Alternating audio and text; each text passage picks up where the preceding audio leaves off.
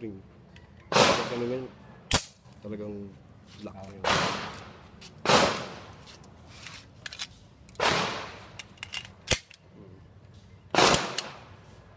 Naglalak. Yan, release mo. Pull, push it down. Ah, okay, safety.